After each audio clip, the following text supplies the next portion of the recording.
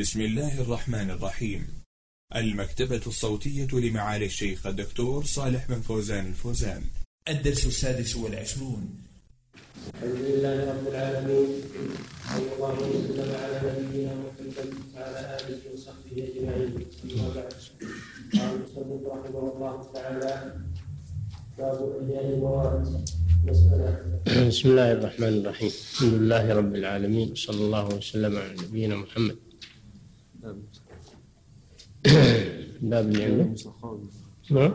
باب المسخرة والمزارعة مساقات والمزارعة المساقات كما سبق تكون على الشجر يعني يكون عنده نخل أو أعناب أو غير ذلك من الأشجار المثمرة. فيدفعها إلى من يسقيها ويقوم بتكاليفها بجزء مما يحصل منها كالعشر والخمس والنصف ما أشبه ذلك. هذه تسمى المساقات. وأما المزارعة فمعناها أن يدفع الأرض التي تصلح للزراعة يدفعها لمن يزرعها بجزء من غلتها بجزء مما يخرج منها. كالعشر والخمس والسدس وما يتفقان عليه. هذه المزارعة. والمساقات والمزارعة عقدان جائزان.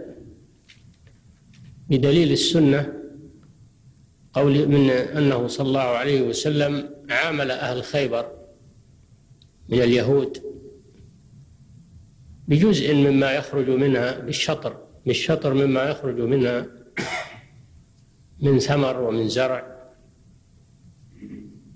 فهذا دليل على جواز المساقات والمزارعة.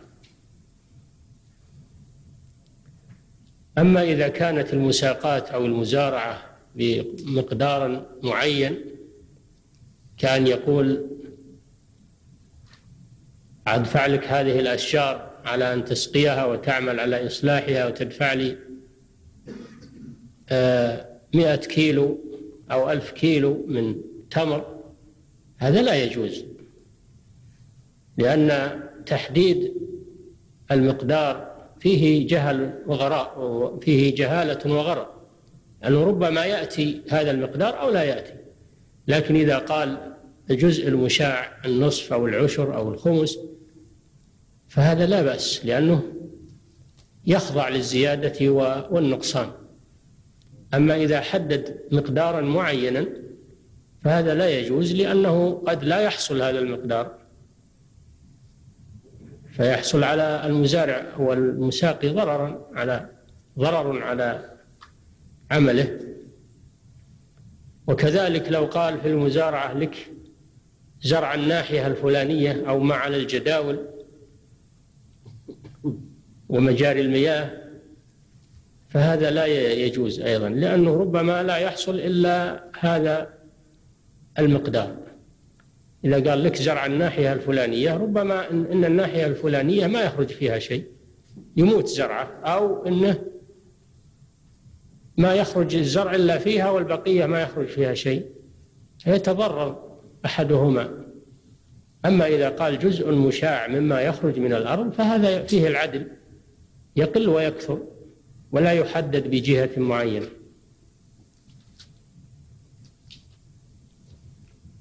وقد حمل العلماء النهي عن المزارعة على هذا النوع. على هذا النوع يعني يقول لك زرع الناحية الفلانية أو زرع ما على الأقبال أقبال الجداول أو مجاري المياه أو ما أشبه ذلك. هذا الذي يحمل عليه النهي عن المزارعة. أما إذا كانت بشط بجزء مشاع فهذا لا بأس به لأنه ليس فيه غرر ولا جهالة. وكذلك تأجير الأرض يجوز. لو دفعها إلى من يزرعها سنة أو عشر سنين أو مئة سنة أو أكثر هذا ما يسميه الناس الآن الصبرة. الصبرة يأجره الأرض أو الدار أو البيت. سنين معينة بأجرة معينة. هذا يسمى تأجير ما يسمى مزارعة. هذا لا بأس به. لو قال أدفع لك هذه الأرض مدة كذا وكذا بمئة ريال كل سنة أو بعشرة آصع كل سنة هذا يجوز لأنه من باب الإجارة. فالإجارة معلومة والمدة معلومة يسمى هذا من باب الإجارة تأجير الأراضي. لا بأس به. نعم. في كل جزء في كل شجر له ثمر. يخرج الشجر الذي ليس له ثمر. ليس له ثمر يقصد وينتفع به. هذا لا تصح المساقات عليه لأنه عبث.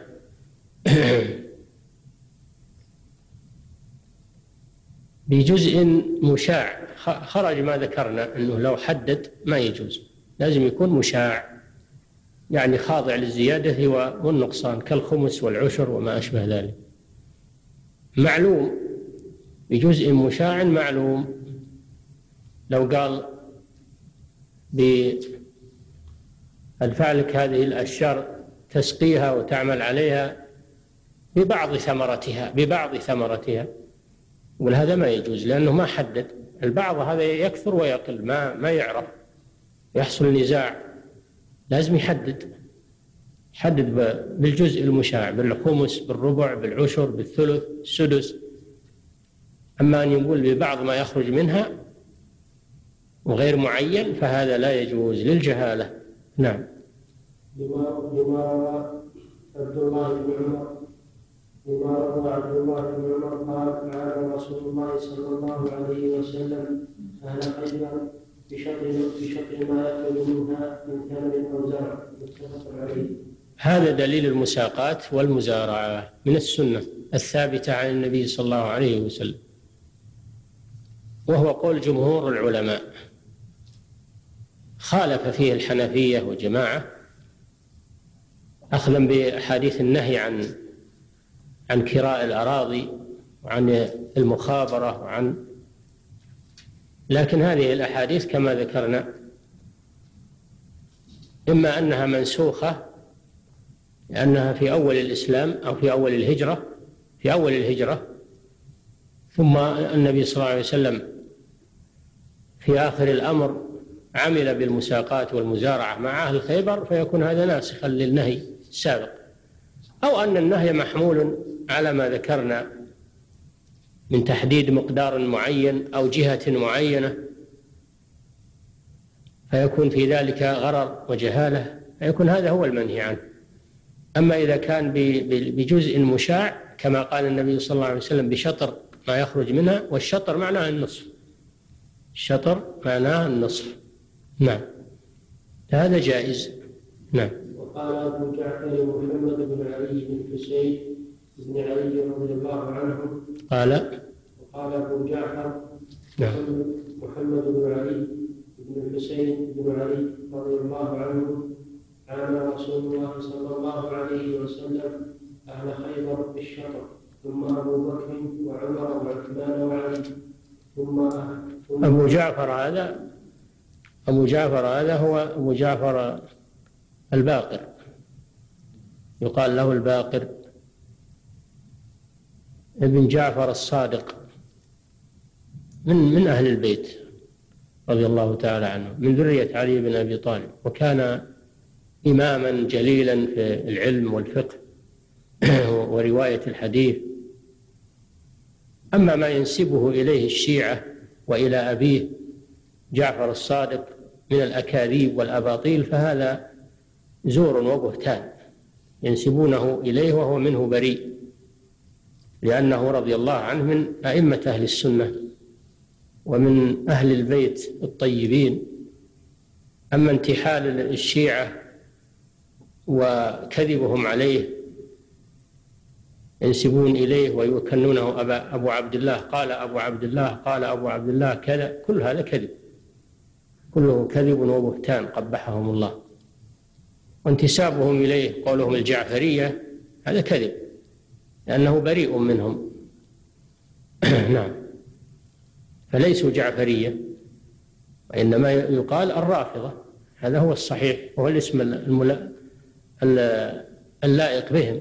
قال لهم الرافضة قال لهم الشيعة أما أن يقال الجعفرية فهذا كذب وانتساب باطل. نعم.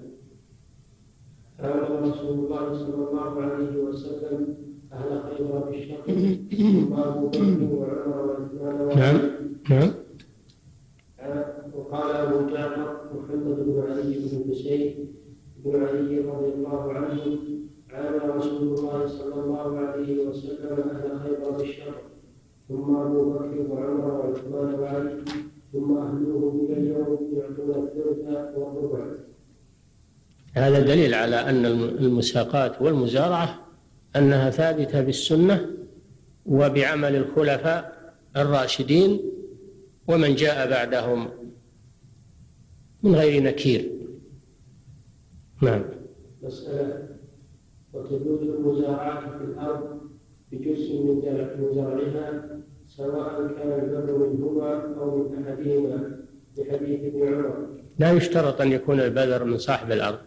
يعني بعض العلماء يقول يشترط أن يكون البذر من صاحب الأرض ولكن هذا غير صحيح لأن النبي صلى الله عليه وسلم ما ذكر أنه كان يدفع البذر إلى أهل خيبر. ما كان الرسول صلى الله عليه وسلم وما كان الخلفاء الراشدون يدفعون البذر إلى أهل خيبر. فاشتراط دفع البذر هذا غير صحيح اشتراط غير صحيح. لكن لو دفع البذر جاز. أما أن يقال أنه من شروط الصحة هذا غير صحيح. نعم. وفي لفظ على أن يعمروها من أموالهم. الله صلى الله عليه وسلم يعمروها من أموالهم. هذا دليل على أن البذر من عندهم. من أموالهم هم. لا من مال صاحب الأرض والشجر. نعم. ولرسول الله صلى الله عليه وسلم شر ما يخرج منها من ثمر أو زرع شطر ما يخرج منها. يعني النصف. نعم. وعلى العابد وعلى العابد ما جرت العادة بعمله في المساقات والمزارعة من الحرث والزبار والتطبيق وإصلاح طرق الماء والحصاد والدراس والليل يكون على العامل ما جرت العادة به عند الناس من السقي و وتلقيح النخل وإصلاحه وتسميده الزبار يعني التسميد وغير ذلك من ما يتطلبه العمل الزراعي. هذا يكون على الزارع. أما صاحب العرض صاحب الأرض أو الشجر فعليه إصلاحها. إذا تعطل الماء مثلا إذا تعطل الماء أو غار الماء فيكون صاحب الأرض أو صاحب الشجر هو المطالب بتوفير الماء للمزارع. أو حصل خلل في الأرض يحتاج إلى إصلاح وتعمير يكون على صاحب الأرض. لأنه لا يتعلق بالعمل إنما يتعلق بالأصل. فإصلاح الأصل هذا على المالك وإصلاح العمل والسقي والزرع هذا على العامل. نعم. لأن لفظه يقتضي ذلك. ويكون على وعلى العامل ما جرت العادة بعمله في المساقات والمزارعة من الحرث والزبار والزبار. من الحرث حرث الأرض.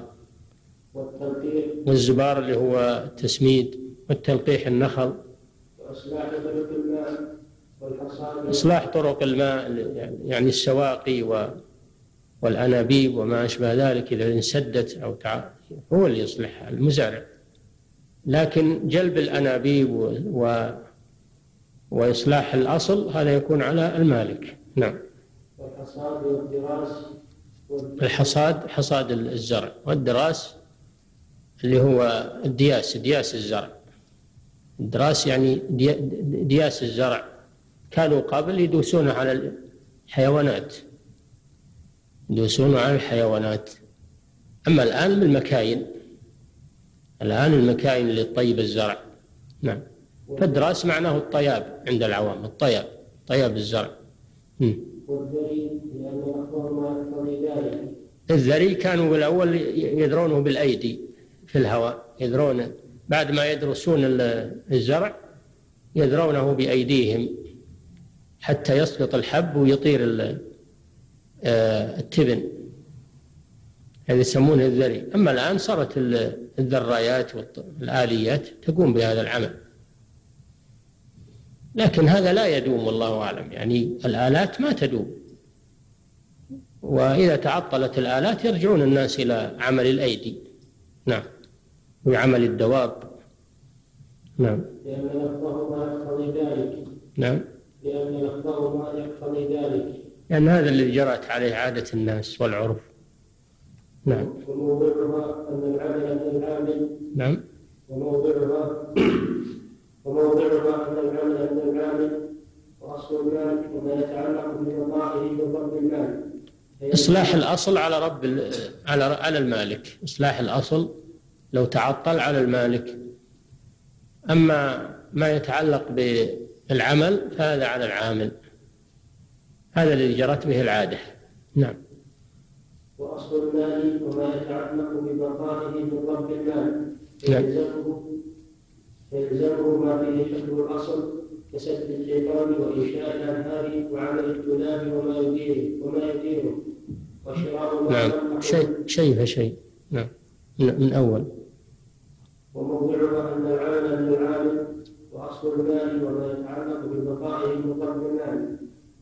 يعني ما يتعلق بالعمل على العامل وما يتعلق بالأصل وإصلاح الأصل على المالك. فتأمين الآليات التي يستنبط بها الماء كالدواليب. دواليب هذه آليات كانت تديرها الدواب. تديرها الدواب وترفع الماء من من البئر. يسمونها الدولاب هذا أو السواني اللي كانت معروفة.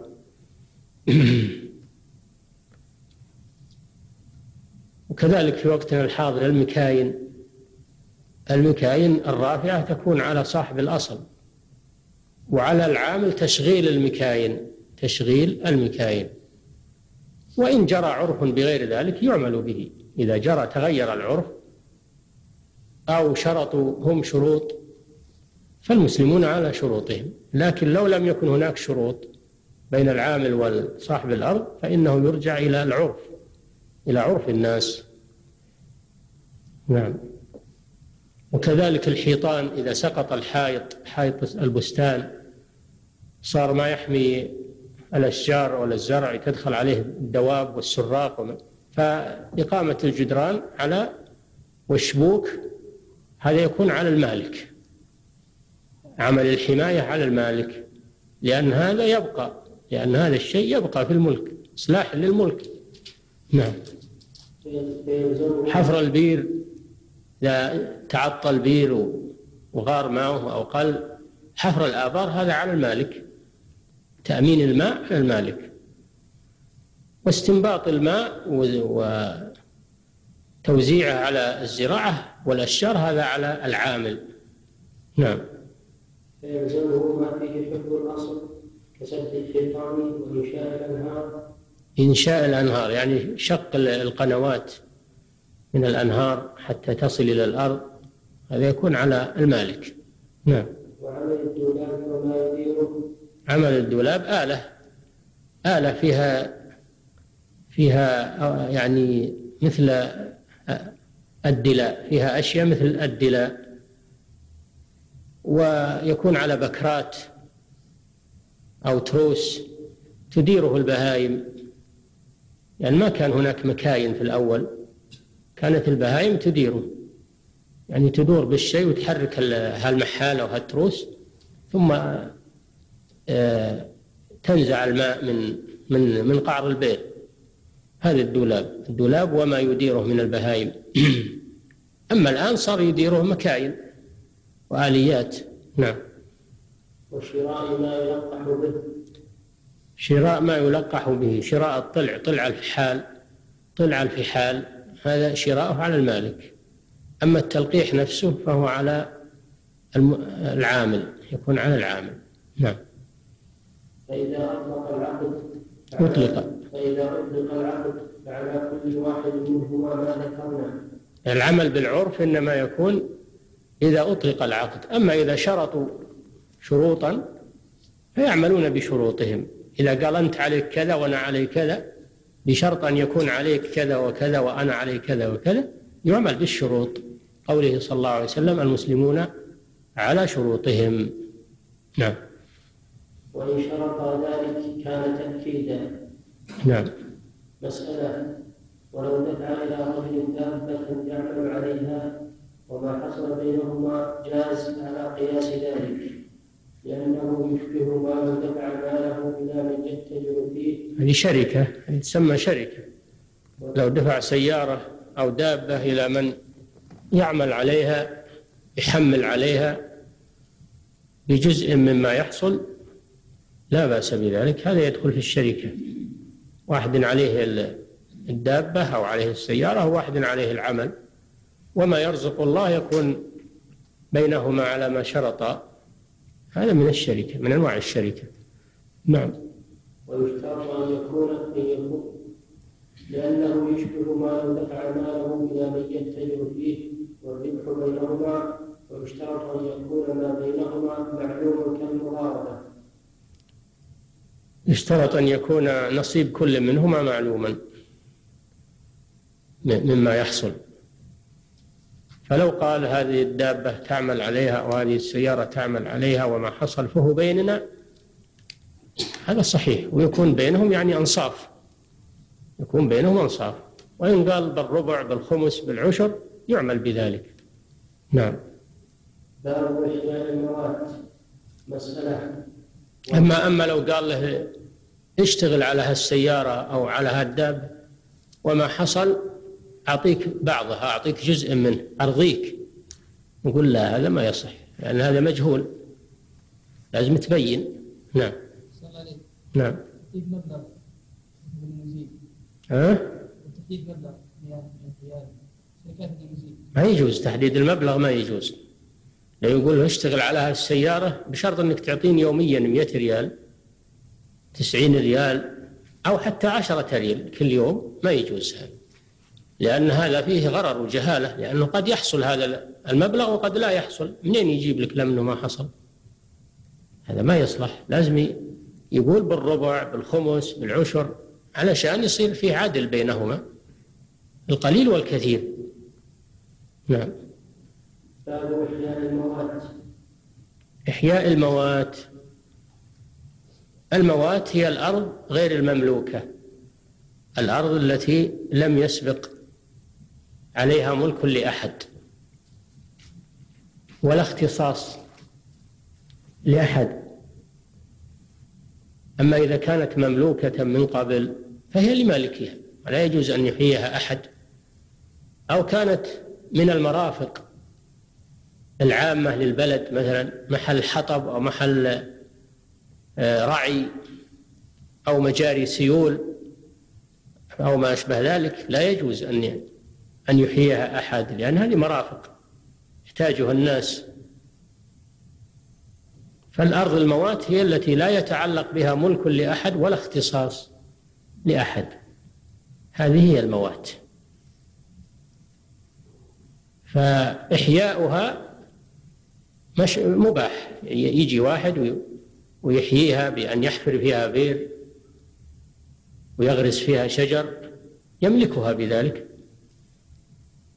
أو أو يعمل عليها حائط. يعمل عليها حائط يمنعها من الدخول إليها.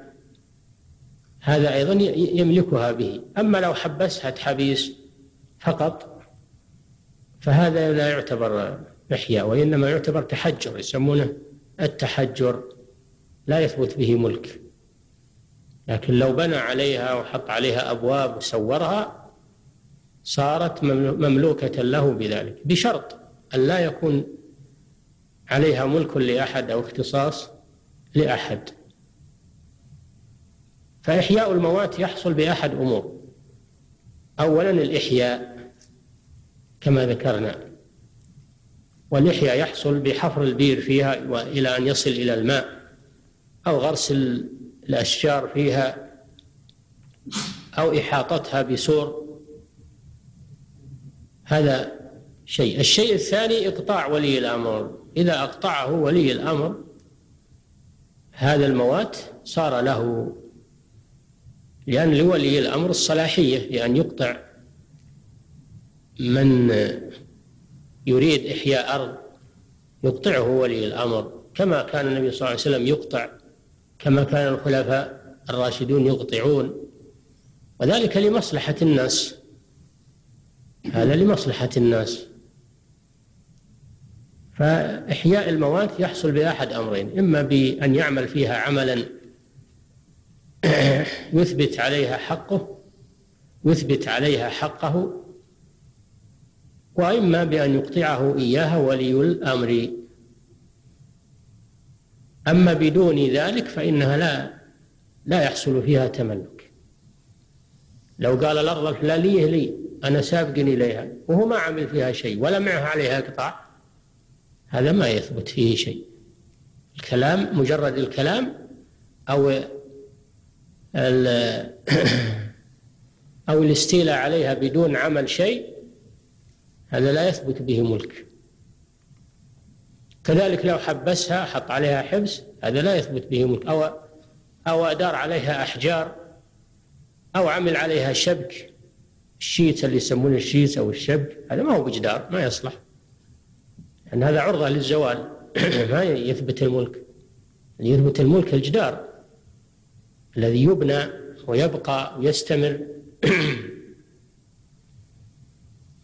نعم. مسألة وهي الأمر الداخرة نعم. باب باب باب إحياء الموات نعم. مسألة. وهي الأرض الداخرة التي لا يعرف لها مالك. هذا تعريف الموات. الموات هو الأرض الداثرة التي لا يعرف لها مالك. وليس عليها اختصاص لأحد أو أو مرفق لأحد. نعم. وهي نوعان. نعم. وهي نوعان. أحدهما أرض لم يجد عليه ملك. فهذه تملك بالإحياء لما روى جابر بن عبد الله قال قال رسول الله صلى الله عليه وسلم من أحيا أرضا ميتة فهي له. أخرجه الترمذي. وقال حديث حسن صحيح. من أحيا أرضا ميتة أو ميتة يصلح ميتة أو ميتة. فهي له ومعنى أحياها يعني عمل فيها عملا من حفر بئر حتى يصل إلى مائها أو غرسها أو إحاطتها بجدار هذا الإحياء. فهي له يعني تكون ملكا له. وبشرط أن تكون ميتة. يخرج بذلك الأرض غير الميتة وهي المملوكة لأحد. هذه ما هي ميتة نعم. النوع الثاني ما كان فيها من آثار الملك ولا يعلم لها مالك النوع الثاني من الموات ما سبق عليه ملك عليه آثار ملك. لكن ما نعلم منه له ولا أحد يدعيه. ربما يكون من آثار الجاهلية أو قديم. ما أحد يدعيه ولا أحد آه، طالب به. فهذا يعتبر من الموات. يعتبر من الموات لأنه ضاعت ضاعت أربابه كما يقولون فيعتبر من الموات نعم. النوع الثاني ما كان فيها من آثار الملك ولا يعلم لها مالك ففيها روايتان أحدهما تملك بالإحياء للخبر ولما روى طاووس أن النبي صلى الله عليه وسلم قال لله عادي الأرض. عادي الأرض. ثم هي لكم بعد عادي الأرض. العادي نسبة إلى عاد. يعني ما كان عليه ملك قديم الجاهلية فهذا له حكم الموات. إذا أحيي يملكه من أحياه. أما إذا كان ملكه لأهل الإسلام فإنه لا يجوز إحياؤه لأنه صار مسبوق عليه. نعم. هذا العادي. العادي نسبة إلى عاد. يعني ما كان من أملاك الجاهلية التي انقطعت وزالت أربابها. نعم. هذا هذه رواية. الرواية الثانية أنه لا يملك إلا بإذن ولي الأمر لأن الشيء المملوك سابقا إذا ضاع مالكه يكون لبيت المال. الأموال الضائعة تكون لبيت المال يتصرف فيها فيكون من صلاحيات ولي الأمر. نعم. في الأموال. نعم. ولأنه في دار الإسلام فيملك كالنقرة نعم. والثانية لا تملك لأنها إما لمسلم إما لمسلم أو ذمي أو بيت المال. فلم يجوز إحياؤها كما تعين مالكها. الثانية أنها تبع بيت المال. الأموال الضائعة التي ليس لا يعرف لها مالك تكون لبيت المال لمصالح المسلمين. تكون لمصالح المسلمين. فولي الأمر يتصرف فيها بما يراه الأصلح. أما لو جاء واحد وأحياها إحياؤه غير صحيح. نعم. لأنها ما هي موات. هذه مسبوق عليها ملك. نعم. مسألة. وإحياؤها إمارتها بما تتهيأ به لما يراد منها والمرجع في ذلك إلى العرف. إحياؤها يكون بأن يعمل فيها عملا يعمل فيها عملا يصلحها للاستثمار. يصلحها للاستثمار. هذا هو الإحياء. كان يحفر فيها بئرا حتى يصل إلى الماء. أما لو حفر بئر ولا وصل إلى ماء هذا ما يفيد شيء أو أجرى عليها ماء جاب له من من بئر قريبة منها أو من نهر قريب منها أجرى عليها الماء. هذا أيضا يعتبر إحياء. أو أحاطها بجدار كما سبق. لأن هذه الأعمال تهيئها للاستثمار والاستفادة. نعم. والمرجع في ذلك العرف فما إحياء فهو إحياء لأن الشرع ورد به ولم يثبته فيرجع فيه فيرجع فيه إلى العرف لأن الشرع قال من أحيا أرضا ميتة فهي له ولم يبين ما ما هو الإحياء فيرجع فيه إلى العرف يرجع فيه إلى العرف لأن ما لم يحدده الشارع يرجع فيه إلى العرف. هذه قاعدة شرعية. والشارع لم يحدد الإحياء فيرجع فيه إلى ما يعده الناس إحياء. نعم. يرجع فيه إلى العرف كما رجعنا إلى ذلك في القبض والإحراز. قبض المبيع والإحراز في السرقة يرجع فيه إلى العرف. ما عده الناس حرزا أو عده الناس قبضا للمبيع يعتبر قبضا وحرزا. نعم. فإذا ثبت هذا فإن أرض تحيا دارا للسكنى أو حظيرة ومزرعة. إما يبنيها دار أو يحوطها بجدار تصير حظيرة أو يحفر فيها البئر ويصل إلى الماء أو يجري عليها الماء من من نهر أو من بئر قريب منها أو ما أشبه ذلك. هذا يعد إحياء عند الناس لأنها أصبحت بهذا صالحة للاستثمار. أما مجرد أنه يضع يده عليها أو يحط عليها أحجار أو يحبس عليها حبوس بالدركتل فهذا ما يعتبر شيء. نعم.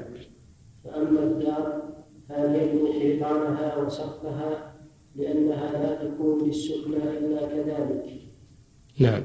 وإن أرادها حظيرة فإحياؤها بحالة جرت به عادة مثلها. أما إذا أرادها حظيرة يعني حوش. الحظيرة معناه الحوش الذي تجعل فيه الدواب. فمعناها أن أن يحميها بسور وجدار يحفظ ما بداخلها. نعم. وإن أرادها وإن أرادها للزراعة فأن يحوط عليها بتراب أو غيره مما تتميز به عن غيرها ويسوق إليها ماء من ويسوق إليها ماء من نهر أو بئر يعني مجرد الحبس عليها ما يكفي حتى يسوق إليها الماء إما من بئر وإما من نهر إما نعم. فإنها تصير محياة وإن لم يزرعها. إذا أجرى عليها الماء صارت محياة. لأنها لما وصل إليها الماء أصبحت صالحة للاستثمار. نعم. وإن كانت من الأرض التي لا التي لا تحتاج إلى ماء فهل يعمل فيها ما تتهيأ به للزراعة من قطع أحجارها وأشجارها وتنبيتها إذا كانت أرضا زراعية ولا تحتاج إلى إلى ماء كالذي أرض البعل مثلا أرض يسمونها البعل الذي ما يحتاج إلى سقي وإنما يشرب بعروقه العثري والبعل. فتملكها بأن يصلحها لذلك بأن يقطع الأشجار ويزيل العوائق التي تمنع زراعتها ويكون بذلك أحق بها. إذا عمل فيها هذا الشيء أحق بها. نعم. وذكر القاضي رواية أخرى في صفة الإحياء وهو أن يحوزها بحائط أو يجري لها ماء. لما روى ابن عبد البر في كتابه عن سعيد وعن سعيد وغيره من أصحاب قتادة عن قتادة عن الحسن عن سمرة أن رسول الله صلى الله عليه وسلم قال من أحاط حائطا على أرض فهي له.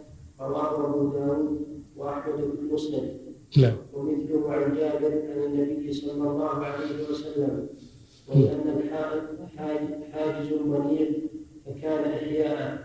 أشبه أشبه ما لو جعلها للغنم حظيرة نعم مسألة. وإن حفر بئرا وإن حفر بئرا فوصل إلى الماء. ملك حريمة وهو خمسون ذراعا من كل جانب إن كانت عادية. وحريم البئر البدي خمسة وعشرون ذراعا.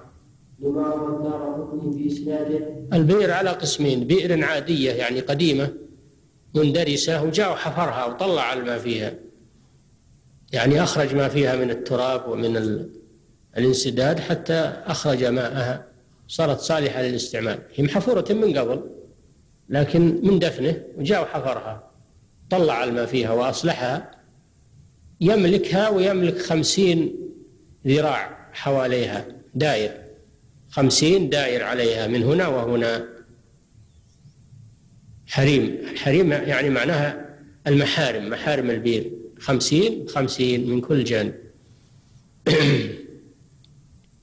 أما إذا كانت بديع بئر بديع يعني هو اللي حفرها ما كانت موجودة من قبل. هذه تسمى بديع أو بديع بال- بالهمز. هذه يملك يملكها إذا طلع الماء يملك البير ويملك حولها 25 من كل جانب. 25 ذراع من كل جانب على النصف من العادية.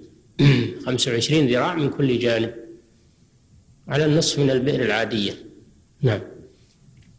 لما قطني في إسناده عن النبي صلى الله عليه وسلم أنه قال حريم البئر البدي خمسة خمسة وعشرون ذراعا وحريم عالي خمسون ذراعا. والحريم معناها المحارم محارم الشيء. يسمى حريم ويسمى حرم ويسمى محارم. نعم. باب الجعالة. الجعالة. باب الجعالة. وهي أن يقول من رد نقطتي أو ضالتي أو لي هذا الحائط فله كذا.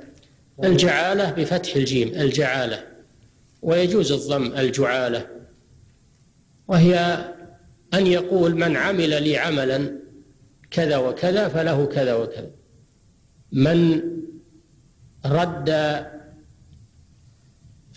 من رد جملي الشارد. له جمل شرد ولا يدري وين يقول من رد جملي اللي ضاع فله خمس تريل مثلا. هذه جعالة. إذا رده أحد فإنه يستحق الخمسة. أو يقول مثلا من بنى لي إجدار على أرضي أرضي الفلانية من حوطها بجدار صفته كذا وكذا فله مئة ريال. قام واحد وحوطها على المطلوب على المواصفات. يستحق المئة التي أعلن عنها. هذه الجعالة. الفرق بينها وبين الإجارة أن الإجارة تكون مع أحد معين تكون مع شخص معين. أما الجعالة فإنها مع شخص غير معين. يقول من من عمل عمل كذا فله كذا وكذا. جاء واحد وقام بهذا العمل بعد ما علم بالإعلان. أما إذا كان علمه قبل أن يعلم بالإعلان فليس له شيء. لكن إذا عمل هذا العمل بعد أن علم بإعلان صاحبه فإنه يستحق الجعل الذي قاله. قال تعالى قالوا نفقد صواع الملك ولمن جاء به حمل بعير وأنا به زعيم. من جاء به له حمل بعير. حمل بعير إيش؟ من الطعام يعني. هذه جعاله يقول من رد صاع الملك اللي ضاع فله حمل بعير من من من الطعام. وأنا به زعيم يعني كفيل. نعم. فهذا دليل الجعالة من القرآن. من جاء به من جاء به. هذا عام. لم يعين. نعم. باب الجعالة. وهي أن يقول من رد نقطتي أو ضالتي من رد نقطتي لقى. لقطتي مم. أو ضالتي أو لي هذا الحائط فله كذا. فمن فعل ذلك استحق الجعل. استحق الجعل. جعل. الجعل. لقوله سبحانه وتعالى ولمن جاء به حمل بعير ولمن جاء به يعني صواع الملك المفقود. صواع الملك المفقود من جاء به له حمل بعير. هذا دليل الجعالة لأن القرآن ساقه مساق الإقرار فدل على جوازه. نعم. وروى ابو مسعود أن ناسا من أصحاب رسول الله صلى الله عليه وسلم اتوا حيا من أحياء العرب فلم يقروهم. يقروهم. يقروهم. فبينما هم كذلك. إذ لدغ- إذ لدغ إذ لدغ سيد- لدي لدغ إذ لدغ سيد أولئك. مم. فقالوا هل فيكم راق فقالوا لم تقرونا. تقرون لم لم تقرونا. فلا نفعل أو تجعل لنا جعلا. فجعلوا له قطيع شياه. فجعل رجل منهم يقرأ بأم القرآن ويجمع ريقه ويدفن فبرئ الرجل فأتوه بالشاة. فقالوا لا نأخذها حتى نسأل عنها رسول الله صلى الله عليه وسلم. فسألوا عنها رسول الله صلى الله عليه وسلم. فقال وما يدريك أنها رقية. خذوها واضربوا لي فيها بسهم. متفق عليه. ولأن الحاجة تدعو إلى. ذلك. دليل الجعالة من القرآن عرفناه ولمن جاء به حمل بعير وأنا به زعيم. دليلها من السنة حديث هؤلاء النفر من الصحابة. نفر من الصحابة مسافرون ونزلوا على حي من أحياء العرب أضيافا ولكنهم لئام لم يقروهم يعني لم يقدموا لهم القرى. هذا يخالف عادة العرب وكرم العرب لأن الضيافة هذه من مكارم العرب وقد جاء الإسلام بها وأقرها. قال صلى الله عليه وسلم من كان يؤمن بالله واليوم الآخر فليكرم ضيفه. في رواية فليكرم ضيفه جائزته. قالوا وما جائزته يا رسول الله؟ قال يوم وليلة. في رواية ثلاثة أيام. فكان من العادات الطيبة عند العرب ضيافة ال- المسافرين وتقديم القرى لهم. بل إنهم يوقدون النيران على الجبال من أجل أن يهتدي الأضياف إليهم. كان العرب وكان سادة العرب والكرام من العرب يوقدون النيران على رؤوس الجبال حتى الأضياف الذين يسيرون في البر إذا رأوا النار راح ذهبوا إليها. فهذا دليل على كرم عادات العرب وأقر الإسلام ذلك. بل إن الضيافة من من سنة إبراهيم عليه الصلاة والسلام لما جاءه الملائكة في صورة آدميين قدم لهم أول ما باشرهم جاء بعجل حنيذ يعني مشوي. قدمه إليهم. يظن أنهم من البشر لكنهم ملائكة والملائكة لا يأكلون الطعام ولذلك لم يمدوا أيديهم إليه. فخاف منهم عليه الصلاة والسلام ثم طمأنوه وشرحوا له القضية التي جاءوا من أجلها. الحاصل أن قرى الضيف من سنة الخليل عليه الصلاة والسلام.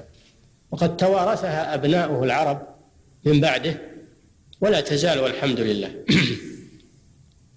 فهؤلاء خالفوا عادة العرب ولم يقدموا القرى لأضيافهم مع أن أضيافهم من كرام الخلق وهم صحابة رسول الله صلى الله عليه وسلم. لأن من عادة العرب أنهم يرقون الذي يعني يقرؤون عليه أو يعملون له ترياق أو ما أشبه ذلك من أنواع العلاج. جاءوا يطلبون من الصحابة أن يقرأوا على على اللديغ فقالوا لهم أنتم لم تضيفونا نحن نرقي نحن نرقي لأن معهم قرآن. نحن نرقي ولكن أنتم لم تضيفونا.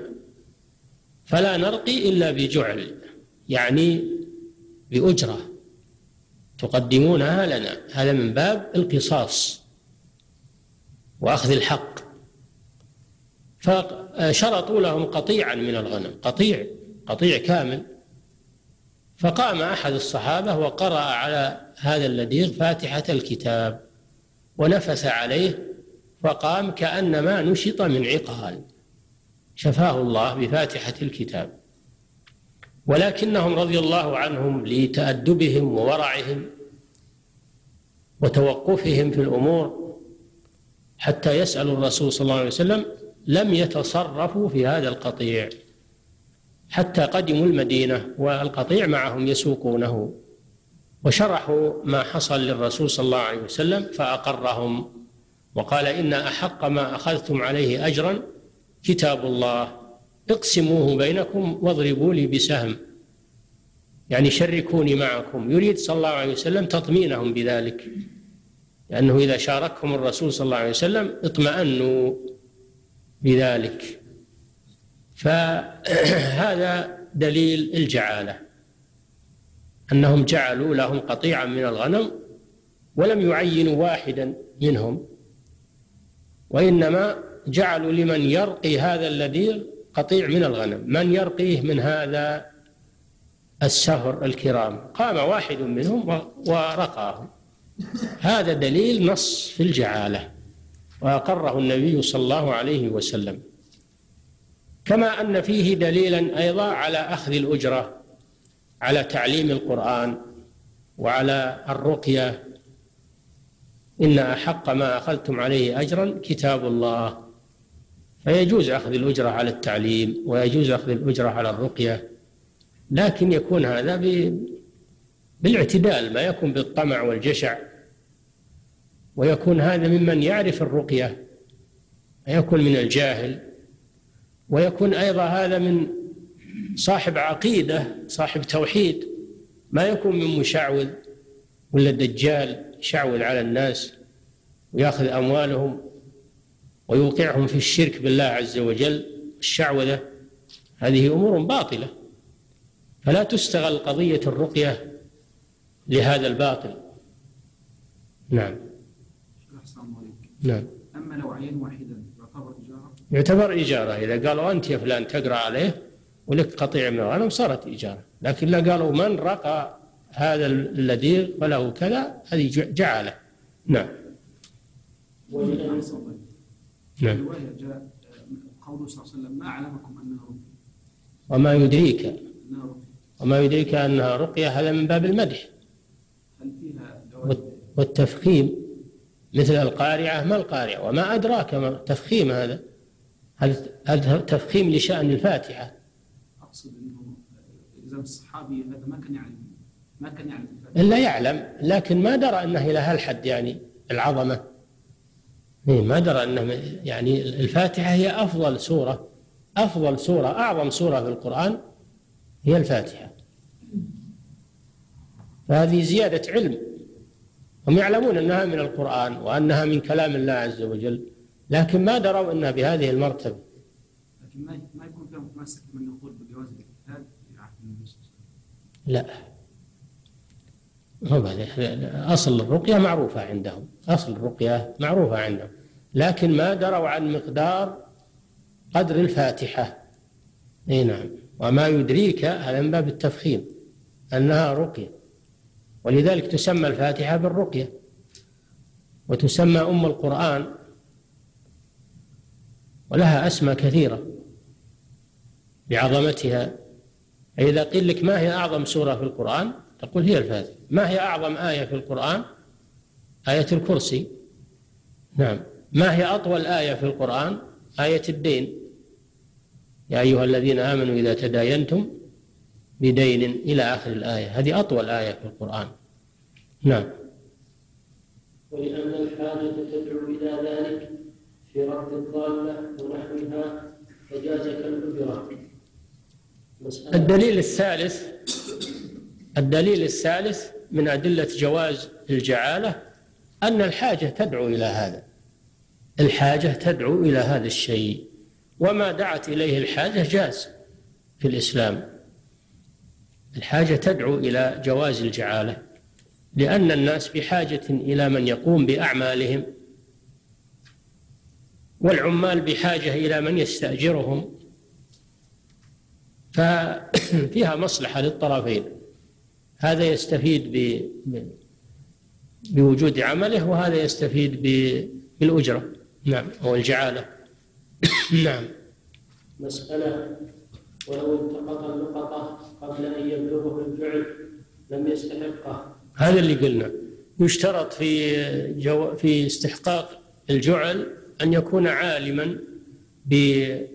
بإعلان صاحب العمل يعني عمل هذا الشيء بعد ما علم. بالإعلان أما إذا عمله قبل أن يعلم بالإعلان فليس له شيء لأنه ما نواه ولا قصده فلا يستحقه لأنه متبرع صار متبرع لا يستحق شيء إلا إذا أعطاه أكرمه صاحب العمل أكرمه بشيء أما الإلزام لا ما يلزم صاحب العمل شيء. نعم. لأنه يجب لأنه يجب عليه رد ردها إذا وجدها فلا يجوز له الأخذ عن الواجب. لأنه يجب على يجب على المسلمين أنهم يردون الأموال الضائعة إلى أهلها من إخوانهم المسلمين. إذا وجدت مال لأخيك ضائع أو دابة ضائعة فإنه يجب عليك أن تردها عليه من التعاون على البر والتقوى. فلا تأخذ على الواجب شيئا من المال إلا إذا جعله صاحبه المسلمون على شروطهم. نعم. يكفي نقف عند هذا. قلنا الفرق بين الجعالة واللقطة أن الجعالة تكون على غير مع غير معين.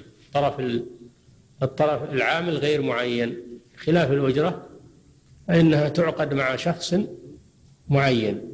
الفارق الثاني أن الجعالة عقد جائز يجوز فسخه.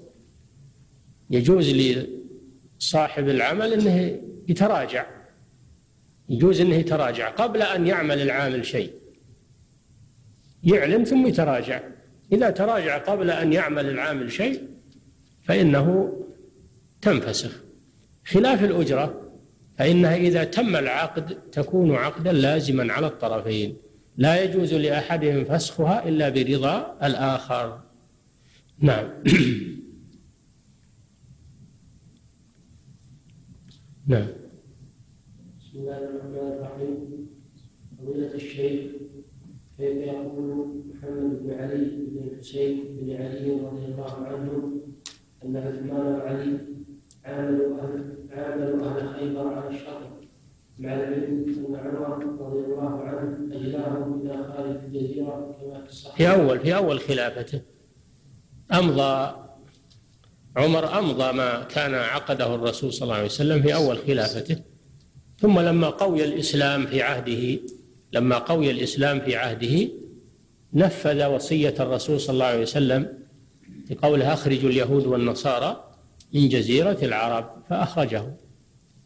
أما في أول خلافته فأمضى العقد على ما هو عليه.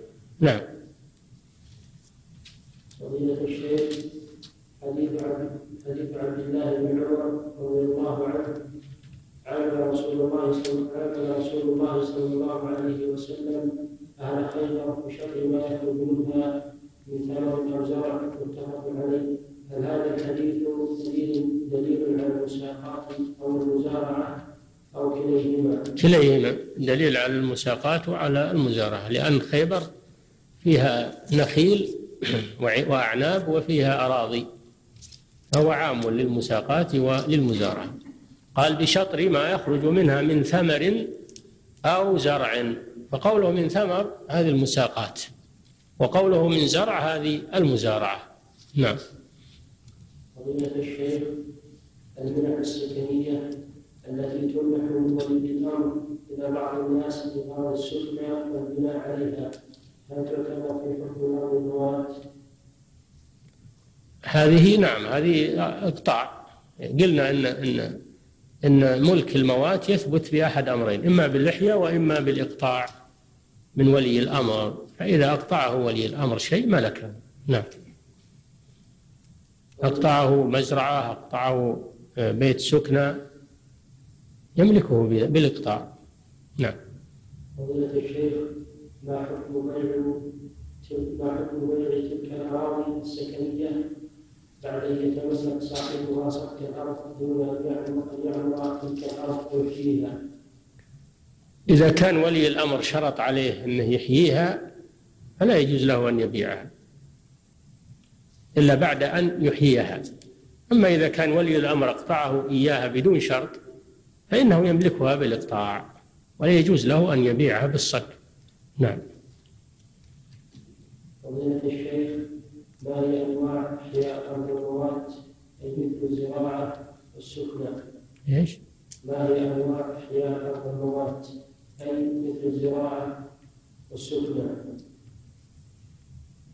السؤال ما هو واضح. أنواع الإحياء عرفناها أنها إما بحفر البير وإخراج مائه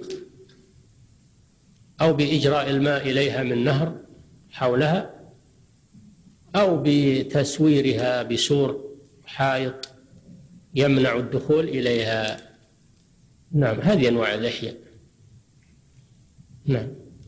فضيلة الشيخ وإن كانت من الأراضي اللي ما تحتاج إلى سقي كأراضي البعول أو أراضي العثري فهذه إحياؤها بتحجيرها و... وإزالة العروق منها والأشجار وإصلاحها ل... للبذر فيها لأن يعني هذا العرف. نعم.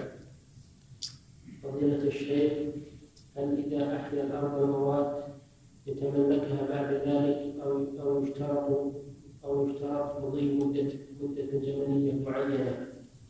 إذا أحياها ملكها إذا أحياها الإحياء الشرعي ملكها. بذلك لقوله صلى الله عليه وسلم من أحيا أرضا ميتة فهي له ولم يشترط مدة. نعم.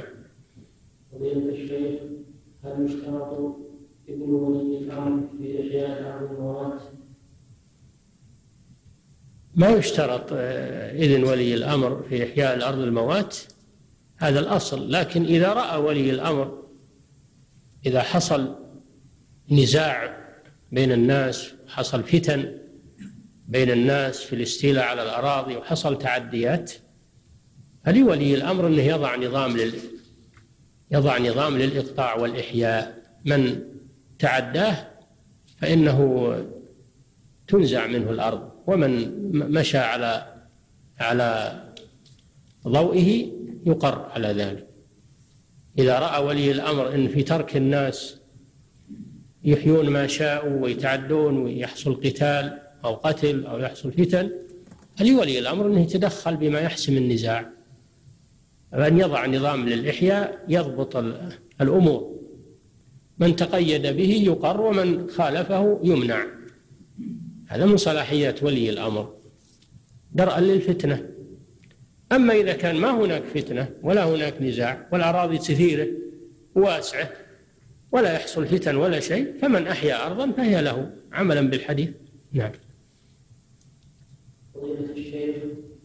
الناس الآن صار فيهم جشع صار فيهم سعار. ما هم بيقتطعون الأشياء ويستولون عليها للمصلحة. وللاستثمار وإنما يستولون عليها للتزيد ولمنع الناس منها. فلذلك تدخل ولي الأمر ووضع نظام لهذا الشيء. من أجل ضبط الأمور. نعم.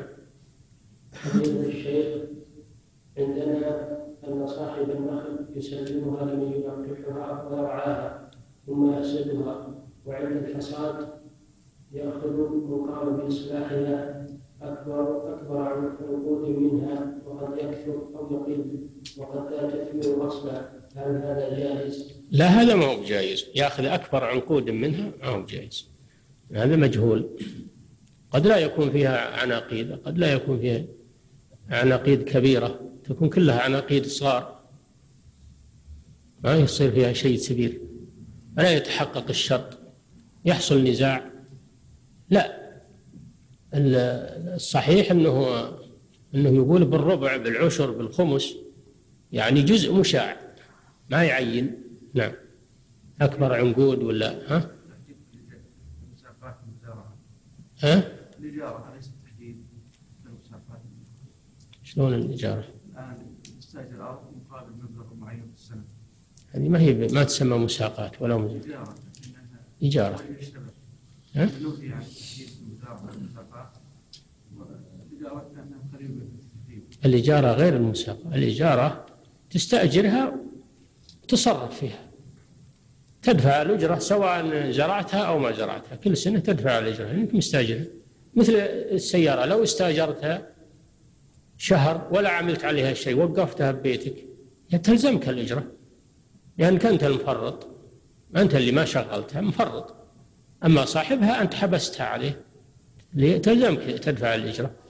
ولو ما شغلتها كذلك الأرض لو استأجرتها ولا زرعتها أنت المفرط. وأنت حبستها على صاحبها. كان معطيها غيرك؟ هذا إذا خسر الشكوى إلى الله. لا صاحب ال صاحب ال الأجرة ما عليه. ما عليه إلا من الأجرة سواء تزرعها أو ما تزرع. يطلع لك شيء أو ما يطلع لك شيء. لأنه مأجرك إياها ومانعها عن غيرك. أنت حابسها. أي نعم نعم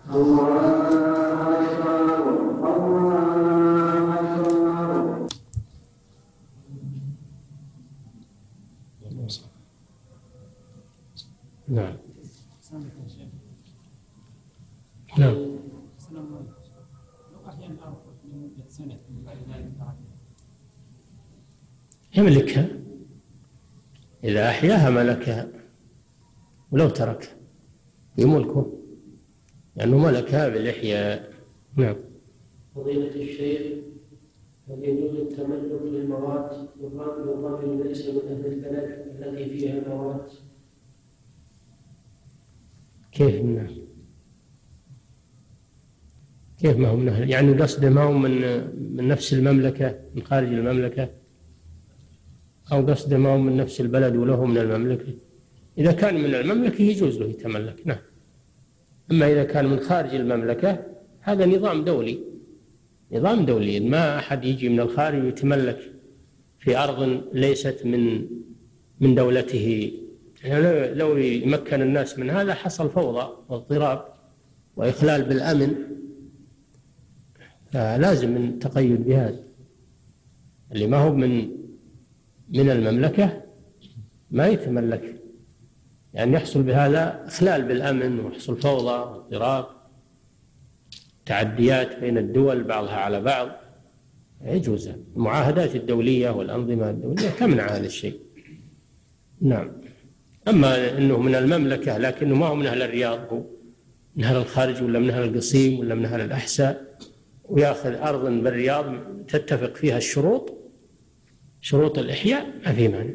نعم لو كنت فرض الأرض العقد قبل الجهة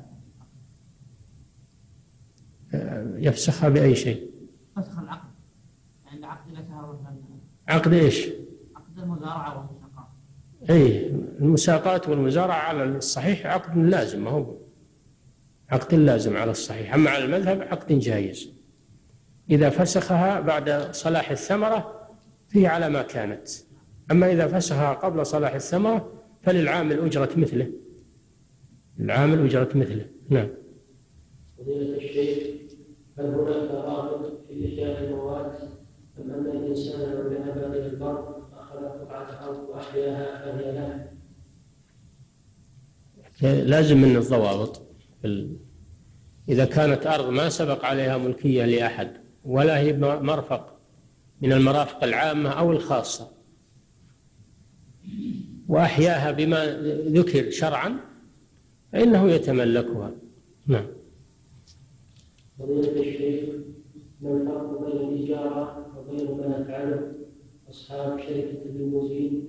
لأنه في الليموزين يقول له أعطني 100 100 ريال كل يوم ألا تعتبر هذه المئة أجرة للسيارة خلال هذا اليوم؟ ما أجرها السيارة؟ هو ما أجرها السيارة هو هو عامل عنده عامل عنده مستقدمه من الخارج على أنه سواق. على أنه سواق. وقال له تقدم لي كل يوم 100 ريال ولا بسفرك؟ شغل السيارة هذه ودر في البلد وحمل. لكن لو ما تجيب لي 100 ريال بسفرك. فهو المسكين يخضع لهذا الشيء. أنه جاي حامل ديون وحامل فقر وعوائل وراه فهو يخضع لهذا الشيء ويخاطر بنفسه ويغامر ولما يحصل المبلغ هذا. قد يبقى له شيء وقد لا يبقى له شيء. هذا ظلم ولا يجوز. هو جايبه على أنه سواق بأجرة. الواجب أنه ينفذ الشرط اللي بينه وبينه. خليه يسوق بأجرته براتبه الذي ت- تعاقد هو إياه عند الاستقدام. ورائع السيارة لصاحب السيارة قليل ولا كثير؟ وهذا له راتبه اللي تشارطوا عليه؟ هذا هو العدل. وهذا والنبي صلى الله عليه وسلم يقول المسلمون على شروطهم. أما أنه يتضرب فيه ويتغرض له ويقول إما تخضع لي وتجيب لي المبلغ اللي أقول لك ولا بسفرك؟ هذا خلاف الوفاء بالعقود. الله تعالى يقول يا أيها الذين آمنوا أوفوا بالعقود. الوفاء بالعقود واجب. نعم.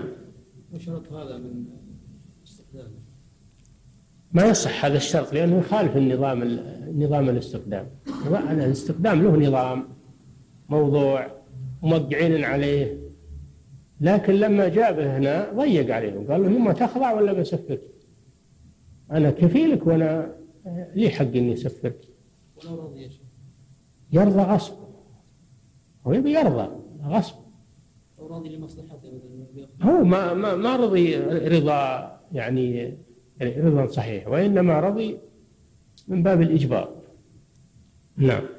ولا لو يعطيه الراتب اللي هو تعاقد هو وياه عليه كان أحب إليه وأحسن. نعم. ما يصلح. المهم هذا ما يصلح. لأن فيه حتى لو سلم من الإضرار بالسائق فيه غرر وجهالة. لأنه قد يحصل هذا المبلغ وقد لا يحصل. نعم. ثم أيضا يخاطر بنفسه يخاطر بنفسه علشان تحصيل هذا المبلغ. وحصل حوادث وحصل شر بسبب هذا. نعم. بل بل إن بعضهم حصل منهم جرائم لأنه إذا شافوا ما هم حصل المبلغ ربما يسرق. ربما يعتدي على الناس ويأخذ من ينهب من أموالهم علشان يسدد هذا المبلغ. نعم. فضيلة الشيخ إذا قال عليك عمل السقاية والزراعة في الأرض؟ ولم يذكر له ما يكون للعامل وإنما قال له علف ما شئت من الأرض؟ إيه؟ وإنما قال له علف ما شئت من الأرض؟ علف. إيش معنى علف؟ نعم. المهم إذا إذا ما بين له النصيب اللي هو يستحقه إذا ما بين تكون المساقات غير صحيحة وللعامل أجرة مثله. إذا فسدت المساقات أو المزارعة لاختلال شرطها فإن العامل يكون له أجرة مثله. نعم. فضيلة الشيخ بعض الناس يأخذ أرضا يقوم بالإحاطة عليها بزرع على جوانب ويزرع على جوانبها شجرة نخل إذا كتبت اسمه ترك ذلك. فقصده أن تكتب باسمه لإخراج صك عليها. ما كان من باب الاحتيال ما يجوز. إذا كان قصده الاحتيال فقط تحصيل الأرض بالاحتيال هذا لا يجوز. أما إذا كان قصده الإحياء والانتفاع بها فلا مانع من ذلك. نعم.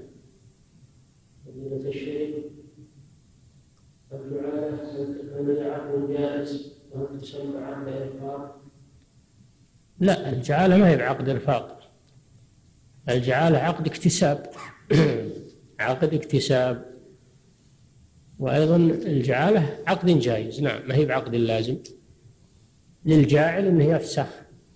يقول هونت فإذا كان أنه هون عنها قبل أن يمضي العامل في العمل فليس له شيء وإن كان بعد ما عمل فله أجرة مثله له أجرة مثله عن تعبه الذي تعب. نعم. لأن التعب ما يروح هدر نعم. فضيلة الشيخ كم عدد عقود الإنفاق مثل الوكالة والرهن والضمان؟ وما حكم كيف؟ كم إيش؟ كم عدد عقود الإنفاق؟ والرهن والضمان وما الرهن هذا ليس من عقود الإرفاق. الرهن من عقود التوثيق من عقود التوثيق. كذلك الكفالة والضمان هذه عقود توثيق ما هي عقود إرفاق؟ يسمونها عقود التوثيق. نعم. أما عقود الإرفاق فيه مثل القرض. مثل القرض ومثل آه نعم مثل القرض. هو هو عقد الإرفاق مثل آه، الإقالة. الإقالة أيضا إرفاق وإحسان. يعني واحد شرى منك سلعة تندم تقيله. أو البائع تندم يقيله المشتري. هذا إرفاق.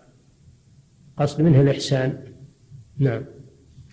فضيلة الشيخ هل تجوز المزارعة في الأشجار التي ليس فيها ثمر؟ ولكن تقصد لشيء آخر مثل أوراقها كالحنة أو الأزهار أو جذورها لاستخراج الأدوية منها يصلح. إذا كانت تقصد أوراقها للاستثمار فيه مثل الثمر. هي مثل الثمر لأن يعني بعض الأشجار ثمرها في أوراقها. مثل الحنة ومثل السدر ومثل الأشجار التي تقصد لأوراقها. هذا ثمرها. ثمرها الورق. نعم. فضيلة الشيخ هل يجب على صاحب الضالة الوفاء في الجعل الذي فرضه على نفسه إذا ردت ضالته وهل عليه إذا لم يفي بالجعل؟ إلا أن عقد جائز. فإذا التزم يدفع الجعل. إذا ما التزم وفسخ يكون عليه أجرة المثل يعطي العامل أجرة مثله عن تعبه. نعم.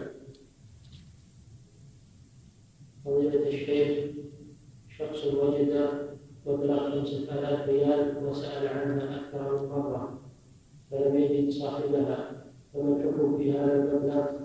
وهل إذا وجد صاحبه له فيها شيء؟ له فيه شيء. والشارع في العرف أخذ عشرة أو واحد بالمئة من قيمة المبلغ هل هذا صحيح؟ اللقطة وقفنا عليها في بابها.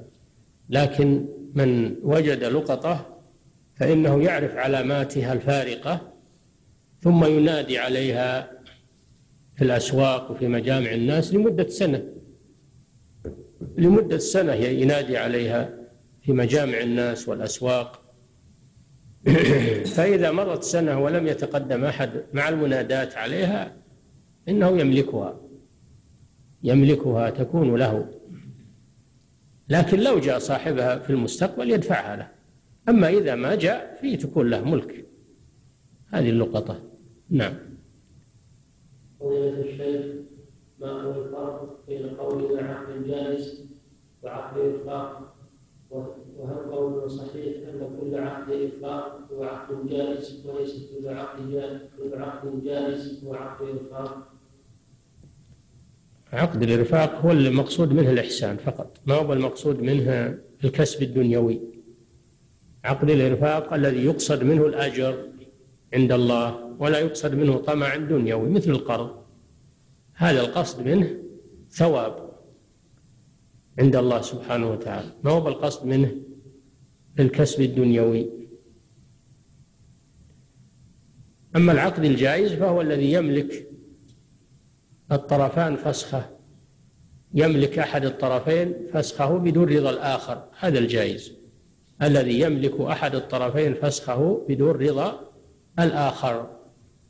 أما العقد اللازم فهو الذي لا يملك أحد الطرفين فسخه إلا برضا الآخر مثل البيع والإجارة وغير ذلك من العقود.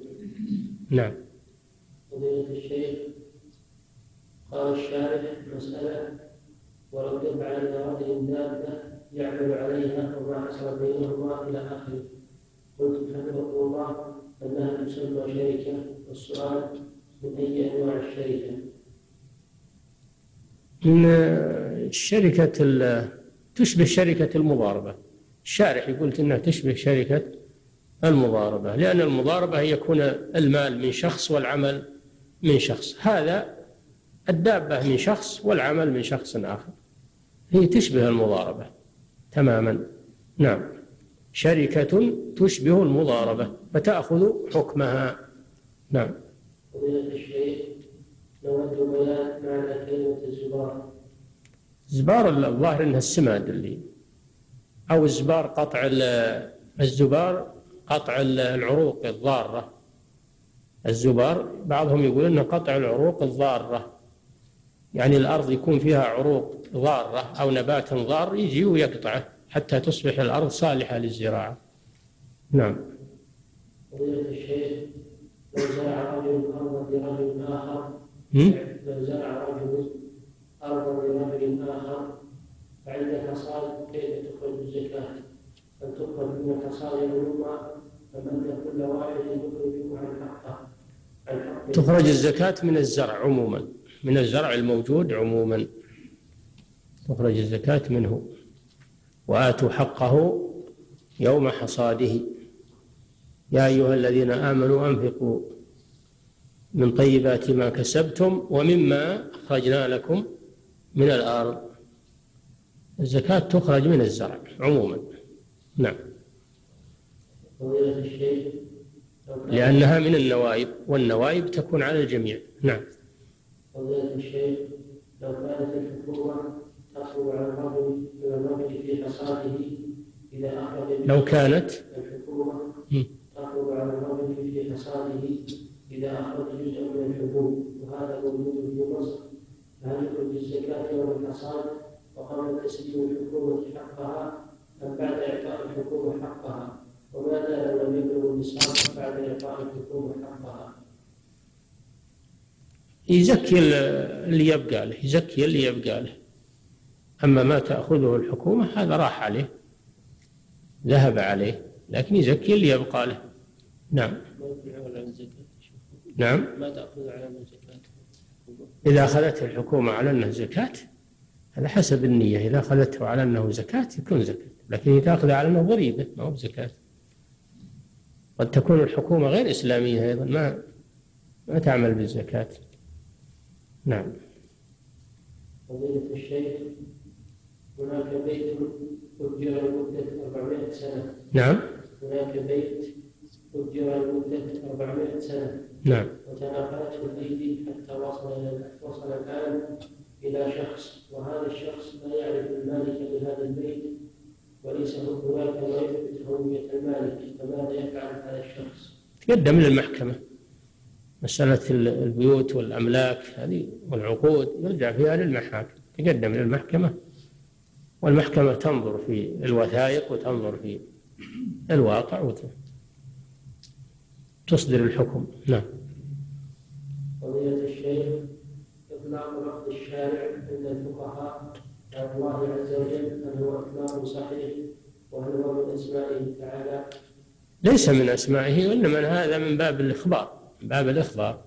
يخبر عن الله بأنه شارع بمعنى أنه شرع الأحكام. اسم فاعل من شرع يعني شرع الأحكام. الرسول صلى الله عليه وسلم يطلق عليه أنه شارع أيضا. من باب أنه مبلغ عن الله سبحانه وتعالى أحكامه. نعم. لكن ما ليس من أسماء الله الشارع. إنما يخبر عن الله بأنه شارع بمعنى مشرع. شارع بمعنى مشرع مشرع الأحكام. نعم. هذا فعل نعم هذا فعل. شارع مأخوذ من شرع. هنا. الشيخ لو لم يكن العامل بما اشترط عليه من صاحب الأرض وزرع الأرض وزرع الأرض لكن ليس على الوجه المتفق المتفق عليه فهل لصاحب الأرض أرضه وهل عليه حقوق حقوق لو طرده؟ إذا أخل بشروط العقد إذا أخل بشروط العقد فلصاحب الأرض أنه أنه يخرجه من من ملكه. يخرجه من ملكه ولكن ما يملك هذا إلا من طريق المحكمة. ما يملك إخراجه إلا من طريق المحكمة. تقدم للمحكمة والمحكمة تنظر في في دعواه.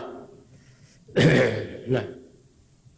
فضيلة الشيخ يوجد نظارة من المعدن وحصل لها عقد بأن انكسرت. هل يجوز لحامها بشيء من الذهب حيث إذا حيث إذا لحمت بغير الذهب؟ تسود وتتشوه أما بالذهب فيصبح يصبح شكلها عاديا لا يجوز للرجل. لا يجوز للرجل انه يصلح النظارة بالذهب الر- لبس الذهب محرم على الرجل.